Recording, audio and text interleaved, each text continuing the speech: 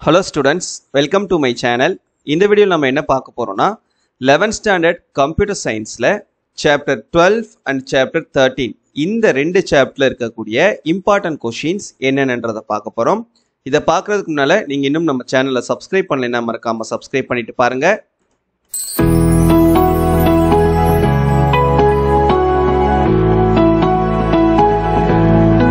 First நம்ம chapter டுவெல்ல இருக்கக்கூடிய இம்பார்ட்டன்ட் கொஷின்ஸ் எது எதுன்றதை பார்த்துடலாம்.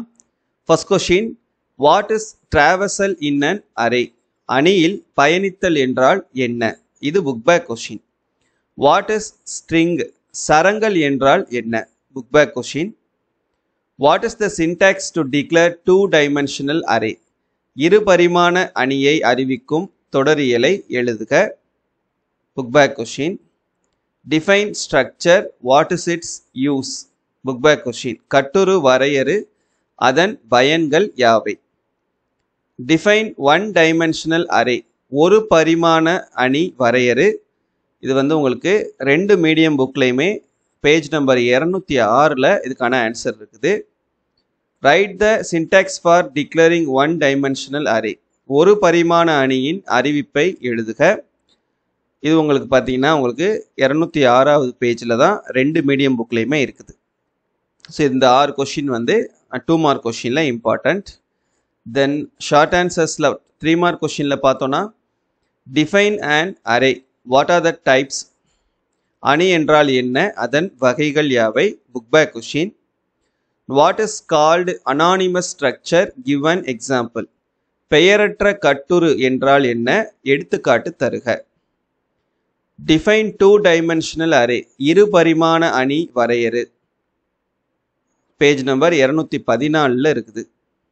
Write the syntax for declaration of two D array இரு பரிமாண அணியின் அறிவிப்பை எழுதுக.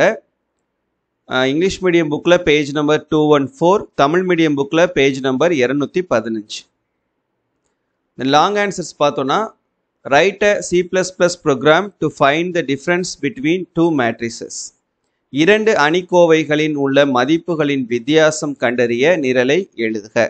புக் பேக் கொஷின் சாப்டர் டுவெல்ல இருக்கக்கூடிய முக்கியமான கொஷின் இதுதான். நெக்ஸ்ட்டு சாப்டர் தேர்ட்டீன் பார்க்கலாம். First very short answers two questions first question what is polymorphism பல்லுருவாக்கம் என்றால் என்ன? Book back question write the advantages of OOP பொருள் நோக்க நிரலாக்கத்தின் குறைபாடுகள் யாவை? இதுவும் book back question define procedural programming நடைமுறை நிரலாக்கம் வரையறு. இங்கிலீஷ் மீடியம் புக்கில் page number two twenty eight Tamil medium புக்கில் பேஜ் நம்பர் இரநூத்தி இருபத்தி ஏழு. டிஃபைன் மாடுலர் ப்ரோக்ராமிங் கட்டக நிரலாக்கம் வரையறு.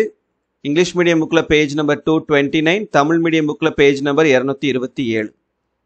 டிஃபைன் ஆப்ஜெக்ட் ஓரியன்ட் ப்ரோக்ராமிங் பொருள் நோக்கு நிரல் வரையறு. இங்கிலீஷ் மீடியம் புக்கில் page number இரநூ two twenty nine Tamil medium புக்கில் பேஜ் நம்பர் இரநூத்தி இருபத்தி எட்டு. டிஃபைன் டேட்டா பைண்டிங் தரவு மறைப்பு என்றால் என்ன? இங்கிலீஷ் மீடியம் புக்கில் page number two thirty Tamil medium புக்கில் page number two twenty nine அடுத்து three mark question write a note on the features of procedural programming நடைமுறை நிரலாக்கத்தின் அம்சங்களை எழுதுக.